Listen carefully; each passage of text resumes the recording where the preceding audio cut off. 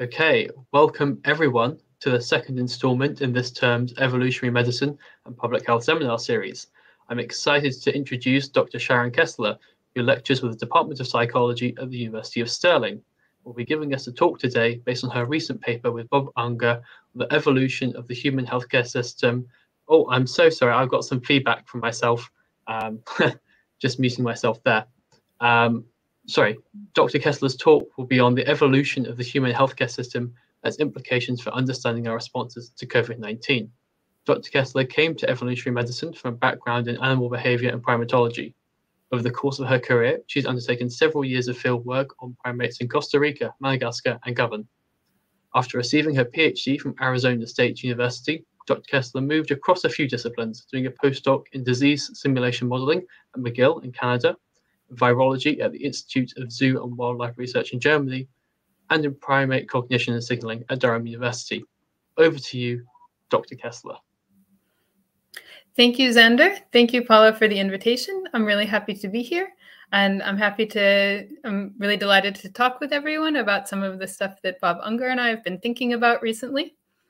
Basically, we're interested in using a cross species approach to understand how healthcare systems evolve. So, if we've learned anything over the past few years, it's that healthcare is important. Um, we've all used it at some point in time. Everyone has been sick or injured or unwell in some way and needed care from someone else, um, whether it be a family member, a friend, or a doctor or nurse. So, healthcare is really important and it's basically woven into the fabric of our societies. And healthcare is important not just for the individual who's sick or ill or unwell, but it's also important from a population perspective. And we can think of it as including both public health and including sort of medical care and medicine fields. Um, and so essentially, it's important not just for the individual who who's sick or unwell, but also for preventing populations from sweeping through, from preventing pathogens from sweeping through populations. So we think of healthcare as something that's associated with being human. And these days, healthcare is extremely, it's basically very technological, and we have the biomedical, we, and it's very biomedical. Um, but if we divorce healthcare from medical technologies, then we can think about healthcare behaviors. And if we know that healthcare behaviors seem are very important and that healthcare is very important for individuals to survive, then we can start to think about why would it be so why would something that's so important evolve only in humans? And sure humans have big brains but so what? A lot of species have big brains. And it's true we use our big brains for things like language culture and technology. But other species aren't actually all that different in that way other species have complex communication systems. They use they also use their brains for things like social learning and culture, cultural behaviors. They also do complicated tool use. So, is it possible that healthcare behaviors might also go further back through evolution than just in humans? And so we can start to think, and so if that might be the case, we can start to think about when. And so here I've made a style, fairly stylized phylogeny. Um, so just to sort of provide a little bit of orientation. Um, so time is on the y-axis, basically going from the bottom forward in time to now. And over on the far side, we see humans. And then the diagram shows, shows how our lineage diverged from other groups, sort of going back deeper in time to more distant, more to groups that are more distantly related to us, like other primates, other mammals, other vertebrates, and other animals. So when we look across the animal kingdom, we do see abundant examples of behaviors that look surprisingly like things that we do. Um, for example, we can think of, we can see the giant otters. They have been observed in the wild to provision an older, an older member of a group when she was no longer able to forage herself. Um, social insects like bees and ants will do things like they will they will smear substances and secretions on other individuals that have antifungal and anti and antimicrobial properties. Um, cetaceans, in particular dolphins, there are numerous examples where they will help individuals that are incapacitated in some way come to the surface to breathe. And they may continue doing this for hours or even days at a time, even sometimes continuing after um, the individual that they're helping has died. And so when we think of, when we think about these examples, if we don't have some sort of theoretical framework or some way of organizing them, they remain just that. They remain examples or anecdotes without any larger significance. But if we th- if we start to develop and, and create a new evolutionary framework that can help us to organize this data that exists in the scientific literature and to create a foundation for new hypotheses. And so the goals of the talk are going to be threefold. First, I'm going to present a, a, new definition of a quote healthcare system, which can be applied across species. And then I'll use evolutionary theory to organize these examples that we see in the animal literature. And then I'll show how this opens lots of new questions about how healthcare systems evolve over evolutionary time. So first, what is a healthcare system? So in order to in order to discuss this, I'm going to borrow a little bit from the animal behavior fields. So, just as social systems are understood to be the result of many small interactions between individuals, we can think of healthcare systems as the emergent effects of individual interactions with conspecifics.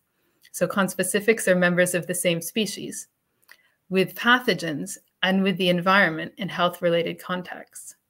So, essentially, having a concept of a social system allows us to make comparisons about the patterns of social interactions between individuals. So we can look at the patterns within species and the patterns across species. And the same could be can be done with a health a concept of a healthcare system where we're looking at the patterns of interactions between individuals and between individuals and their pathogens and between the individuals, their pathogens, and the environment.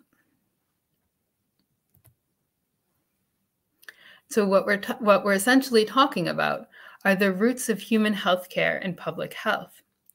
But it's important a little bit also to think about what's not included in this definition. For one, it doesn't it doesn't require medical technology. Um, it doesn't require a concept of what germs are. It doesn't require an understanding of how pathogens are transmitted. It doesn't require a concept of infectiousness it really probably doesn't even require much intelligence at all. And that in of itself is a little bit interesting. So this concept of a healthcare system, it also articulates with existing immunity-based concepts that are in the literature, but it brings a new focus on explaining the evolution of care. Um, so just to sort of situate it with some of the concepts that are out there, so it's related to the behavioral immune system. The behavioral immune system covers things like individual level responses, focusing on the emotions of disgust and how that helps facilitate avoidance. Basically, when we're disgusted by something, we tend to avoid it. And so that makes us less likely to catch a disease from it. For example, here we might see that there's a cake shown on the screen. Um, we might know that it's a cake, but it's still going to be really difficult to eat that cake because it looks like it has a giant turd on it, even if that might be just frosting. Um, and we can all, there's also another related concept of social immunity, which was developed for understanding the physiological, behavioral, and organizational defenses that um, exist in social insect colonies. And so I'll come back to the defenses of social insects in a few moments later in the talk.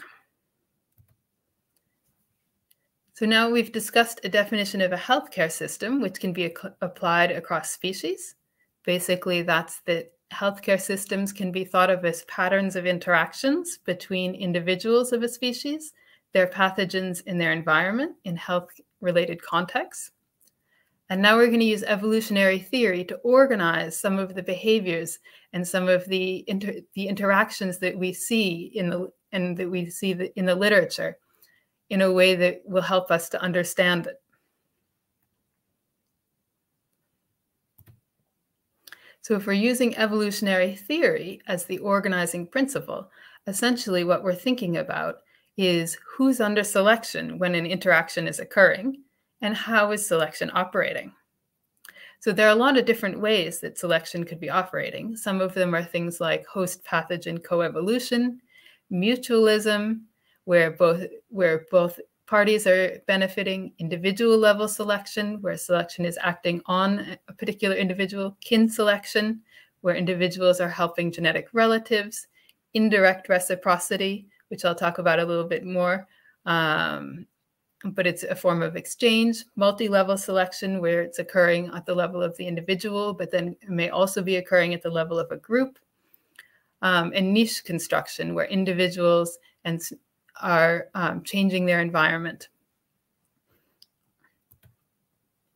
And so before we go further, I'm going to um, go through a few definitions. And essentially, we can think of healthcare, we can sort of organize and unpack the concept of what a healthcare behavior might be in a hierarchical way. So, first, we can divide it between care behaviors and community health behaviors. And then within those categories, we can organize it by types of behaviors.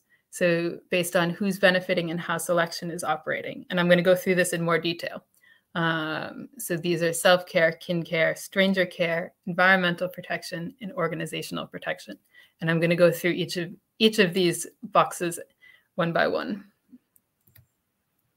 So, first, to talk about the top part of that diagram, we have healthcare behaviors, which can be thought of as behaviors that can control the spread of disease.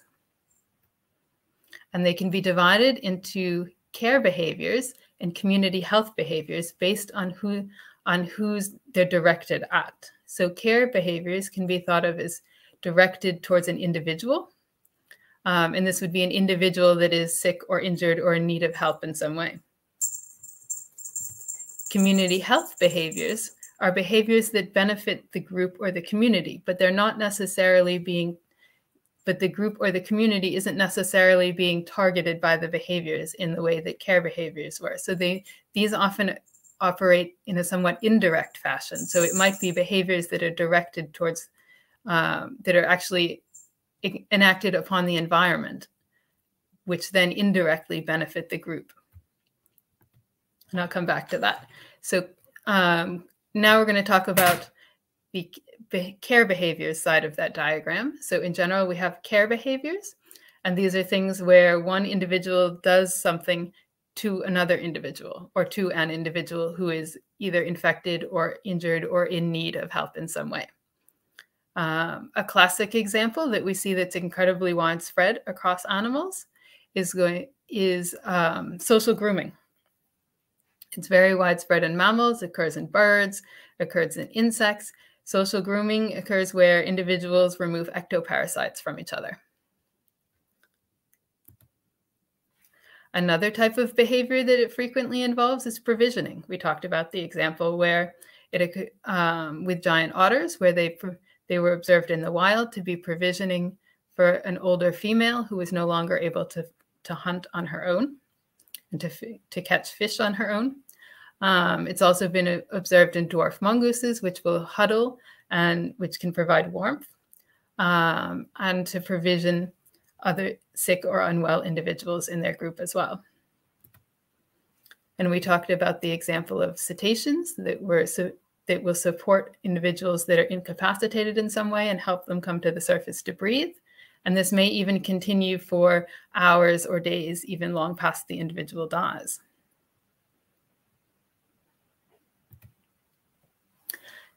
So, how did these behaviors evolve? That's likely to depend on the behavior, who does it, and who's receiving it. And so we're going to use the answers to those questions to sort the behaviors into these, ca- these categories of self-care, kin care, and stranger care. So self-care benefits the self. It's like it's where the individual does something that helps them themselves in some way to either avoid becoming infected or to heal once they are infected. So this could be something like avoiding an individual who's sneezing and clearly infected. Um, it could also be something like cleaning a wound to prevent it from becoming infected. And this is likely to have evolved via natural selection. Individuals that engage in self-care are likely are are benefiting their own health, and this is likely to help them survive so that they can reproduce and pass their genes on into the next generation. Kin care are behaviors that are given to genetic kin, and it's likely to have evolved via kin selection, when one individual helps another to either not become sick or to recover from an infection. They're helping that individual survive, and if they go on and then reproduce, they're passing not only their genes into the next population, the next generation, but also um, a percentage of their genes which they share with the with their kin care. There's also stranger care. And this is something that might be uniquely human. Stranger care is care that's given from one individual to another when the two individuals are unrelated and unfamiliar with each other. So most of the care that we receive in a doctor's office or in hospitals would probably qualify as stranger care. We generally don't know the person and don't have any pre-existing other relationship with them. And this is kind of a bizarre behavior when, when we think of it from an evolutionary point of view, because that stranger care is risking their own health and they're risking their own ability to, um, to survive and be healthy in order to help somebody who, if they survive, isn't going to pass on their genes. So you would expect that from an evolutionary perspective, that would be selected against. You would expect that to not be a, something that would survive over a behavior that would survive over evolutionary time, evolutionary times. Yet in our species, it's incredibly widespread and it's very common. And so that sort of raises the question of how did that happen? Why is that there? And it probably evolved through fairly complex selection pressures. And I'm going to go through a couple potential hypotheses for how they may have happened. And they're not mutually exclusive. It's possible that all could have all could have occurred. Um, and it's also not exhaustive. There are others, but these are some of the major possibilities.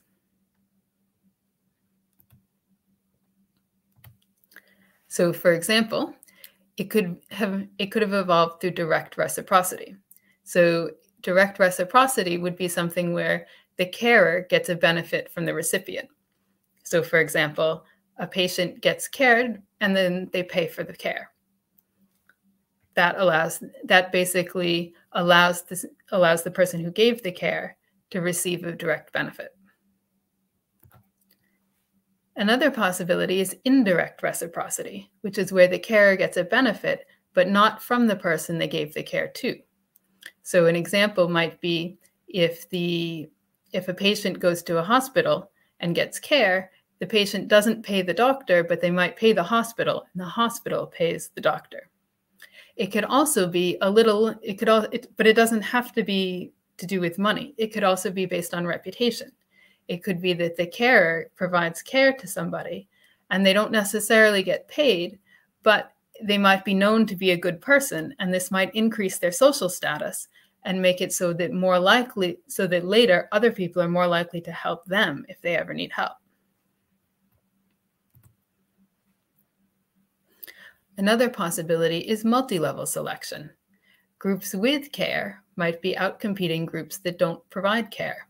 And this would be particularly likely if caregiving is able to control the spread of diseases through the population so that groups that are providing care experience less have less less of a disease burden on the members of their population.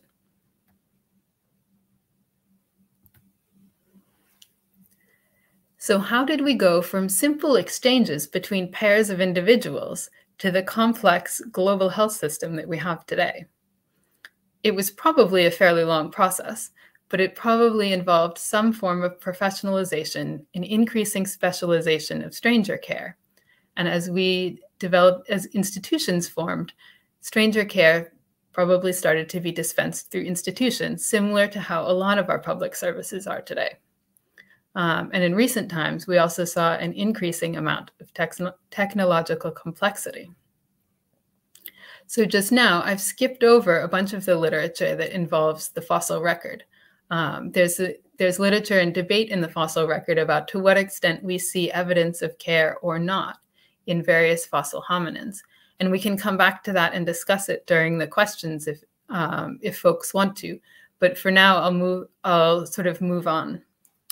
Um, so essentially, the place that we are, the situation we're in now, sort of where we are now, is that we see that the some of the major ways that care is given today is very different from the ways that it probably from the situation in which it probably evolved.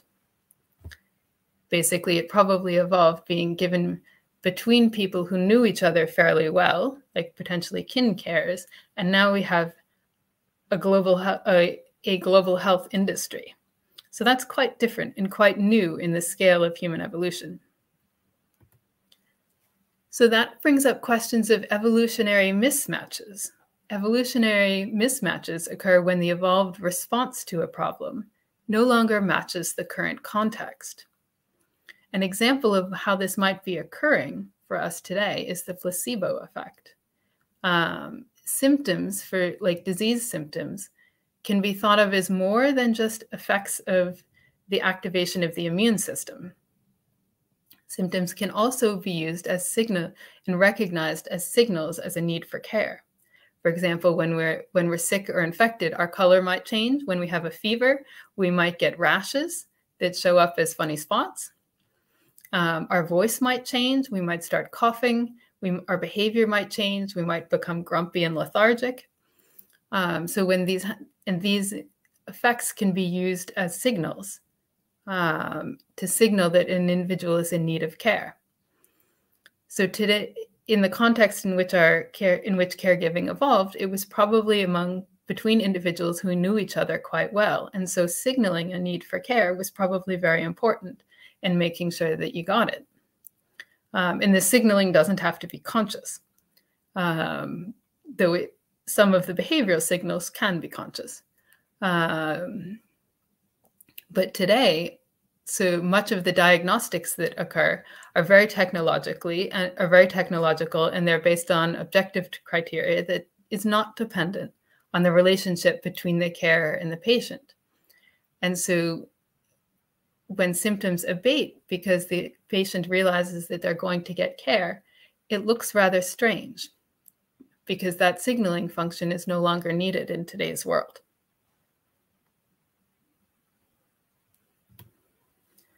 Another interesting phenomenon that happen that may be happening in our lineage are displacements. And this is when an ancestral form of care is given through a newer, more uh, newer derived, more recently evolved form, causing the two forms of care to conflict and to work against each other. An example of this might be that um, through evolutionary times, the care for older people was probably done primarily through kin networks. Um, today, kin care for older people is basically being displaced by stranger care, in that a lot of care for older people is done in care homes, or it's done when professional carers come to people's houses. And this can lead to conflicts and mistrust when um, kin carers and family don't necessarily trust the stranger carers, and vice versa.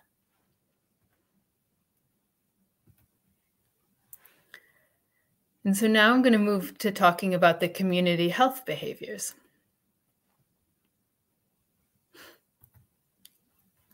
So community health behaviors are behaviors that benefit the group or the community, but they're not, not but individual individuals are not necessarily the target of the behaviors. So an example of this in animals would be, for example, nest sanitation in birds, or removing, for example, removing fecal sacs from nests to keep the nest clean to reduce transmission to the nestlings. Um, an example in humans would be disinfecting public spaces to reduce COVID-19 transmission. And one of the one of the types of um, behaviors that that exists that's a part of uh, or one of the types of um, community health behaviors is environmental protection. And these types of things, it's sanitation and cleaning. And this occurs through niche construction. Organisms modify their environment such that future generations inherit that modified environment, which can then impact the selection pressures faced by that species. Uh, an example of that would be um, would be termites. So if termites are building nests in ways that reduce the reduce the ability of pathogens to grow, then they would they will have experience less selection pressure based on those pathogens. Those pathogens will exert less selection on them. Um, that will be the case for both for that generation and the generations that are born into that nest. Um, examples of that also occur in humans in that we engage in a lot of cleaning behaviors in our homes and in our communities.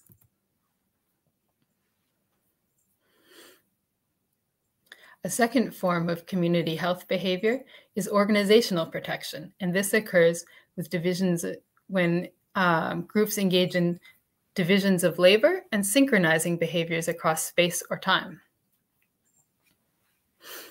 So, for example, one behavior that both social insects often engage in and humans engage in is we have subgroups of individuals that deal with disposing of waste and disposing of the. This is my cat. Um, that deal with disposing of waste and deal with um, disposing of the dead. And this be if you have a subgroup of individuals who do who do that, and it's a fairly risky behavior in that those individuals are potentially being exposed to pathogens, um, those risks are basically sequestered within that group of individuals and only those who come in contact with them rather than the whole group. Um, another example would be synchronizing behaviors across space or time. And this is something that humans do, for example, social, um, like community wide social distancing during a pandemic or mass administration of drug programs. So in social insects, these behaviors probably um, probably arose through kin selection because of the way that the nest the nests are structured with a queen and non and then non-reproductive groups and re um, the social insects are often very related to each other. In humans, it probably evolved via via multi-level selection, in the groups that are engaging in this type of behavior are more likely to be able to control the spread of pathogens through them. And, and then the individuals living in those groups are going to be better able to reproduce. So just to review where we've been, um, we've discussed self-care, kin care, and stranger care, and environmental protection and organizational protection.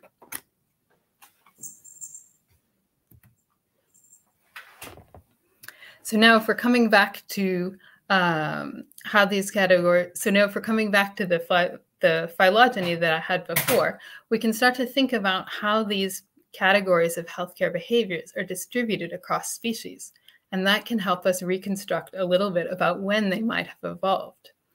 Um, with the caveat that if we don't see a behavior in a species it, or a, a group, it doesn't necessarily mean it's not there research effort has been very unevenly distributed across species.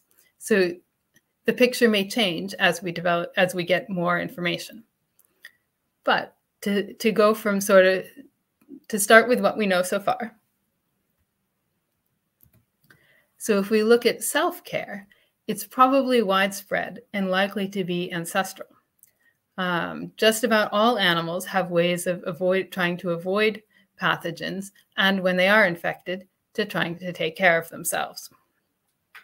So this can probably be thought, this probably evolved very early um, in animals, and it's which means that it's ancestral and it is widespread. So kin care likely evolved together with kin-based sociality. Once kin were living in social groups, then their then they are available to each other to be helped and to help each other when um, some when one of them is ill. Um, so we know that kin that social that kin-based sociality has evolved multiple times from less social ancestors. Um, kin-based sociality has evolved in mammals. It's evolved in other vertebrates like birds. It's also evolved in invertebrates.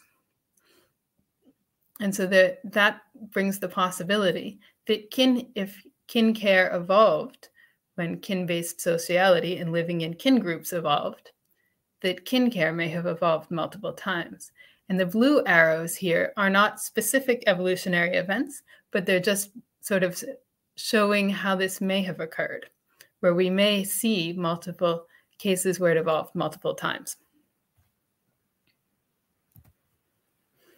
Stranger care seems like it might be unique to humans. If that's the case, then it would have evolved since humans split off from other um, from other primates.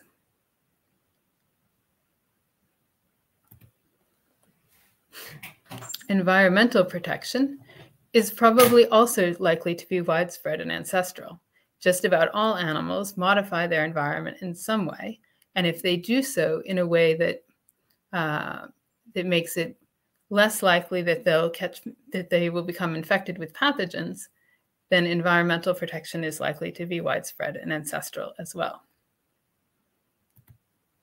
Organizational protection, which is um, subgrouping among individuals to reduce the transmission of pathogens or um, sort of patterning of behaviors in space or time to reduce the spread of pathogens.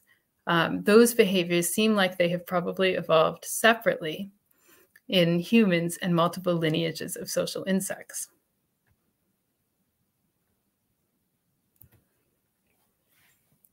So when we think back about the these um, how these behaviors different behaviors are patterned on the on the and distributed across species, what's the big picture that we see? Well, for me, the big picture that we see is that the different types of healthcare behaviors, that is, self care, kin care, stranger care, um, environmental, and organizational, organizational protection, show different patterns of evolution, producing different combinations of behaviors in different lineages.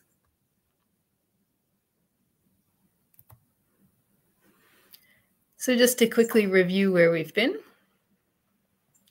um, we've just we've just started organizing the some of the examples and the data within the literature into self-care, kin care, stranger care, envi environmental and organizational protection. And now we're going to move to looking about at how this can be this framework can be used to open new questions um, about how healthcare systems evolve over evolutionary time.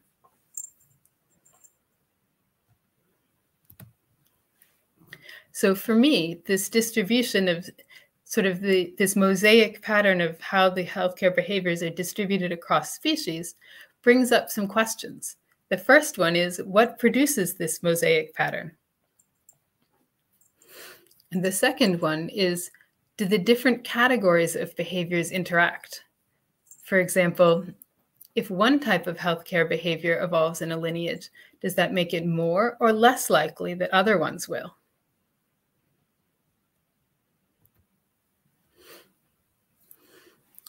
So, for example, one possibility, one question that we can think of is Did kin care evolve from kin based infant rearing systems? So, we know when we look across species that there's great variation in how, in kin based infant rearing systems. It can vary from a lot of care given to no care given. Um, when care is given to, to young, it can be basically primarily maternal based. It could be biparental care. It could also involve a lot of allo care from, um, from group mates. So we can use what we know about that to develop predictions. For example, across species, we might expect that kin care should co occur with kin based infant rearing, as opposed to no care so we would not expect to see kin care in species where you don't get infant care. Kin care should be greater in species with greater kin-based infant care. For example, cooperative breeding with substantial amounts of allocare versus single parent rearing versus no parental care. And across species, we might expect that the specific care behaviors should differ, but be those that each species uses for infant care. And we do seem to see a bit of this um, when we look across when we look across species. For example, it seems like species that engage in cooperative provisioning of young are also species that are more likely to extend that behavior to um, adults when they're when they're injured or ill. They're more likely to be provisioned as well. And what this does is sort of what some of these questions and predictions allow us to start thinking about are questions like could kin care be a co an extension or a co-optation or a byproduct even of infant based of kin based infant rearing systems?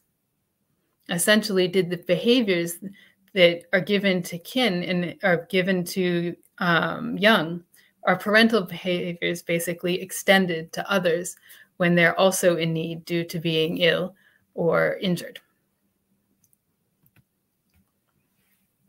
Another question that we can ask is about um, how niche construction may um, produce environmental protection activities. For example, does greater niche construction activities co-occur with greater environmental protection activities? So there's a there's a great variation across animals in how much niche construction they engage in. Um, in particular, some niches involving uh, with species that are dependent upon building nests to live in or burrowing engage, engage in quite a lot of niche construction, and they might be expected to engage in more environmental protection activities. Essentially, if you're building a structure to live in, it probably makes sense to do so in a way where you will have less pathogens in that structure that you're living in rather than more. So we can turn that into predictions, we can say environmental protection behaviors should be greater in species with greater dependence on niche construction behaviors, for example, nesting or burrowing. And across species, we might expect that the specific behaviors, the specific types of construction, niche construction behaviors should differ. But those that each species uses for niche construction will also be some of the behaviors that they use for environmental protection.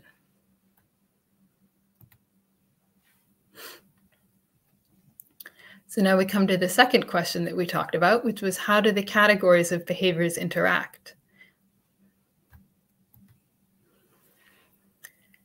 So each behavior category, kin care, stranger care, self-care, environmental protection, and organizational protection, will probably have different effects on the contact structures of the population and thus how pathogens move through it.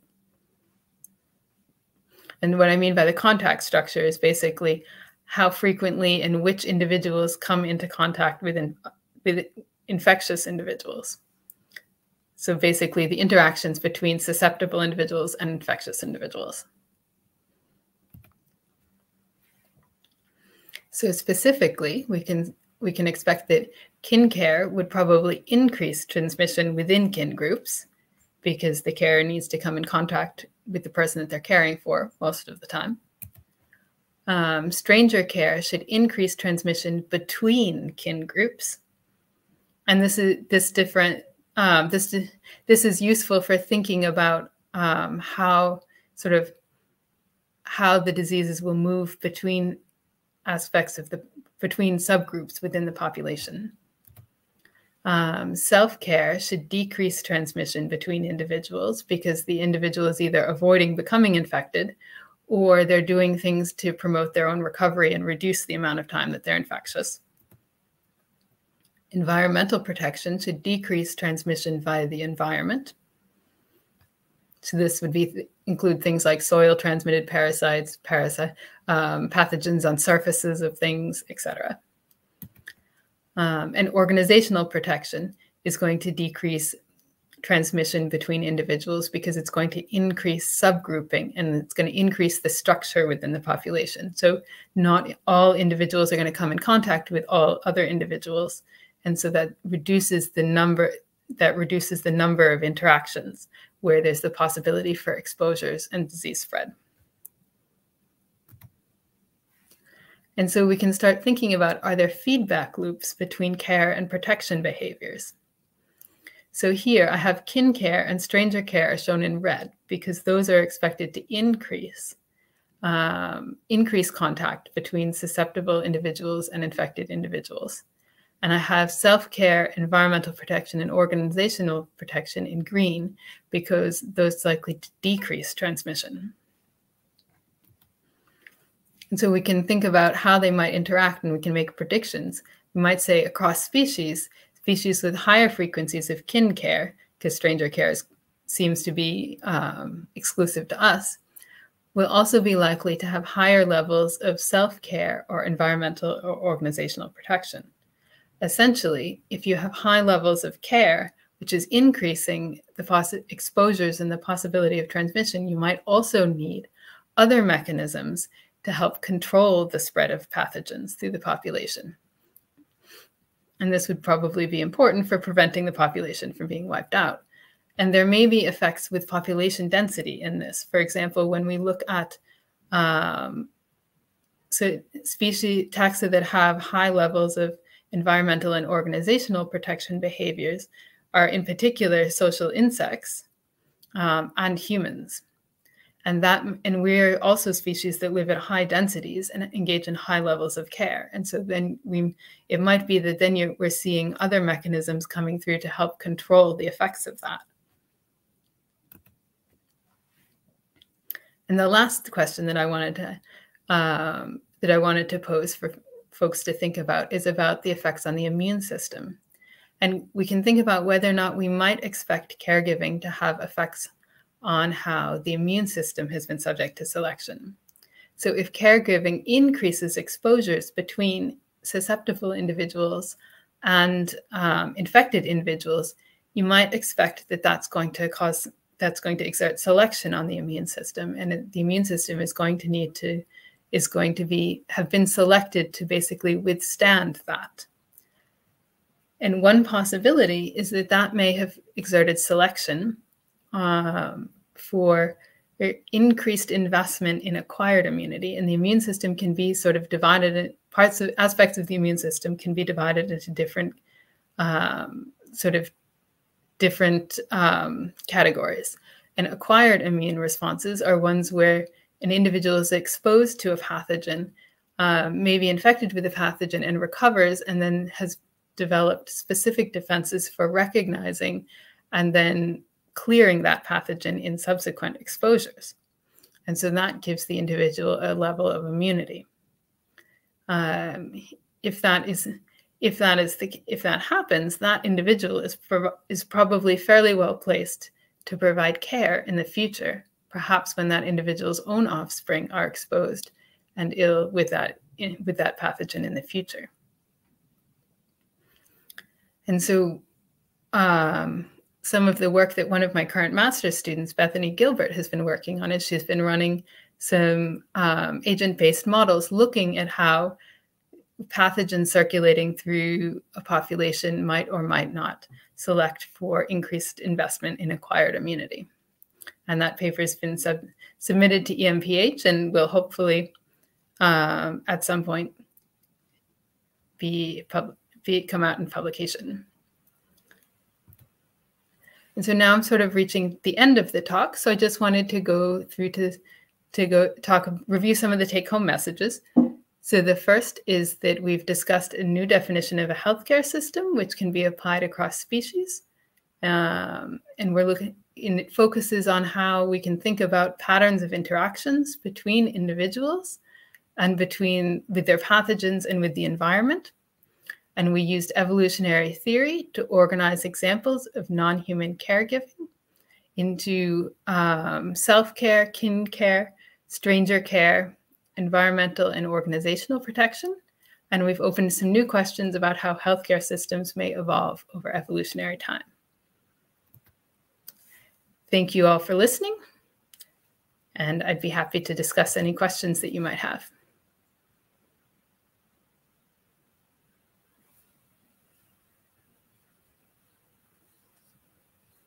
Ah, sorry, I was muted for a second. Thank you, Dr. Kessler, for a great talk.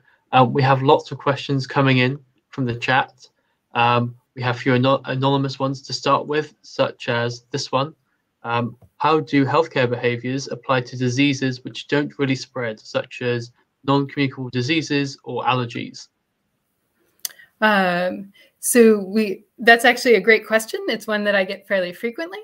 So I would say that um, so if we're thinking about that over evolutionary time, I would say that actually non-infectious diseases or injuries, basically things that can't be spread, would have helped the evolution of caregiving evolve because it reduces the costs.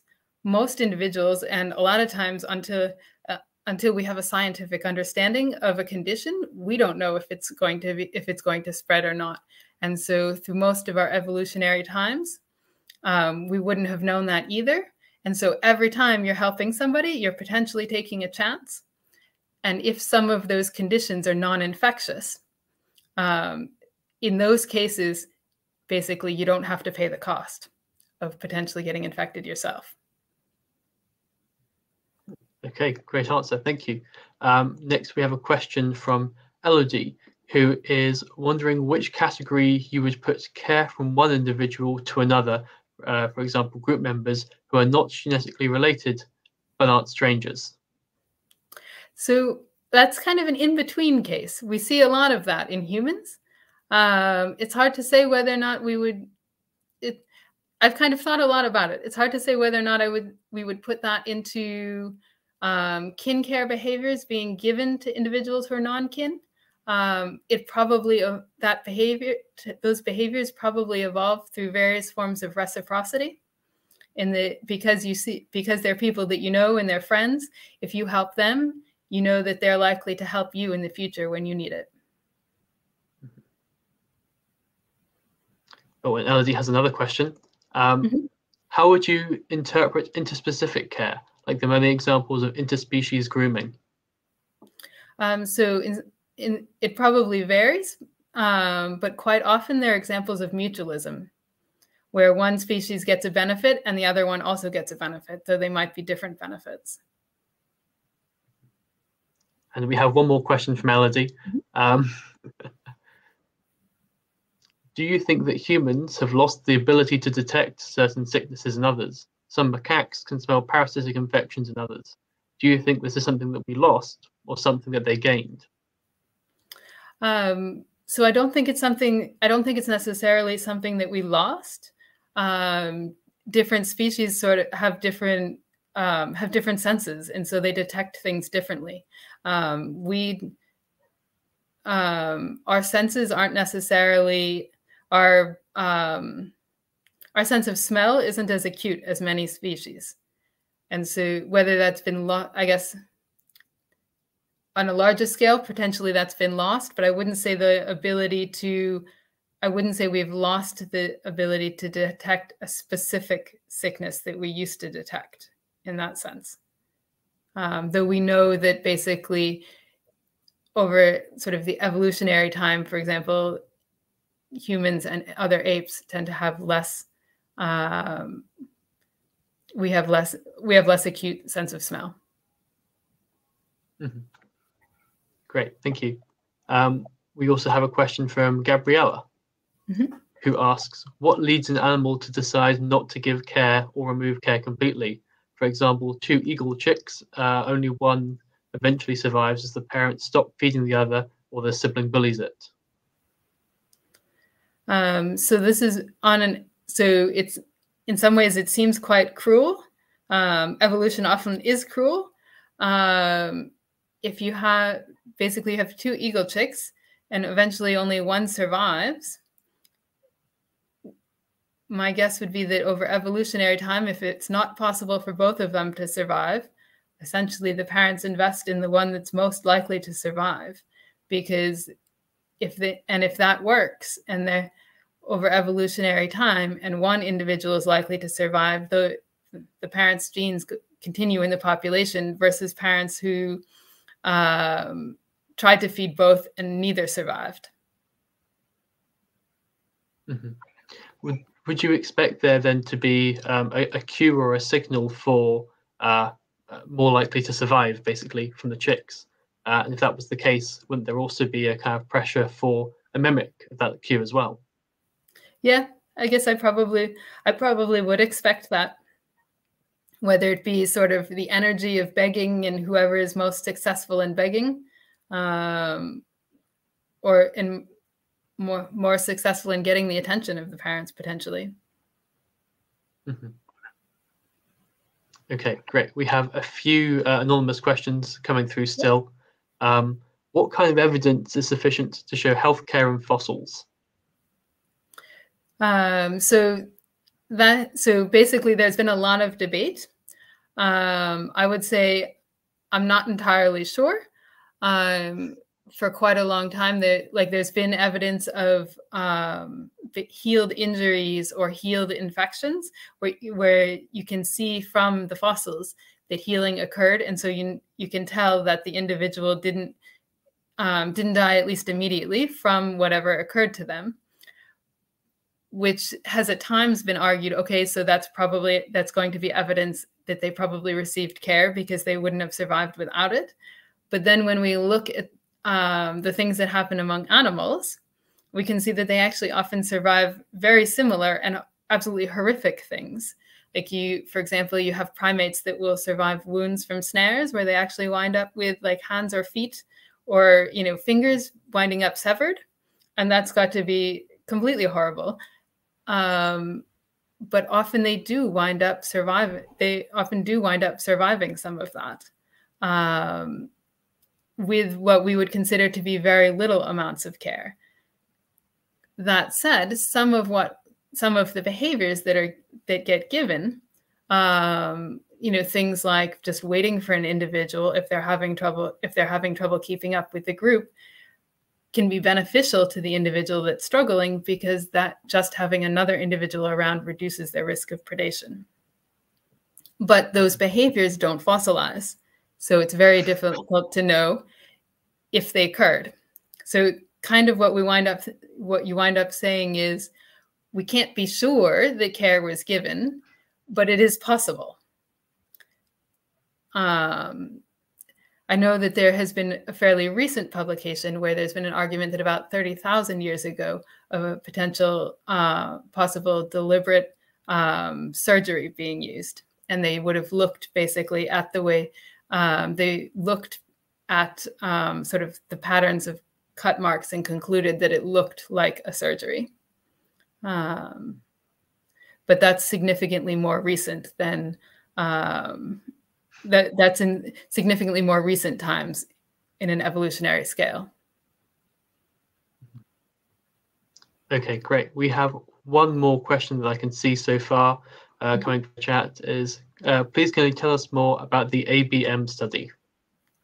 Um, okay, so essentially what we were, um, what Bethany was looking at is she was trying to see, she was looking at the costs of using different aspects of the immune system. So if you're so innate responses to the immune system tend to be more costly to use and to deploy, but less costly to basically develop.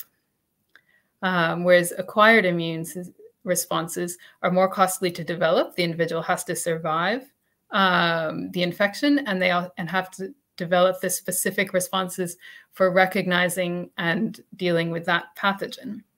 But once that is the case, um, once that is the case, then there then acquired immune responses are much cheaper to use. And so she basically use you can use a computer program to create a hypothetical population of individuals that then basically can be programmed to move and interact according to the rules that you give it. And you can then infect your hypothetical population. Um, and she looked at the effects of different um, pathogens moving through the population and and under different conditions so under conditions of caregiving conditions without caregiving and looked at and varied the rules for how they've invest in immune evolving immune dis, uh, invest in sort of acquired versus innate immunity. Um, and then look and let it run over generations and look to see which um, strategies came out over time. Um, and it looked like under certain circumstances, um, caregiving does is actually selecting able to select for um, acquired immune responses. Great, thank you. Um, I don't think we have any more questions. Um, so I think from all of us here who uh, have organised the seminar series, we want to say thank you very much for coming. We hope that everyone in the audience has enjoyed. I'm sure they will have. Uh, and we hope to see people at our next seminar coming very soon. Thank you. Thank you for coming. Thank you for having me.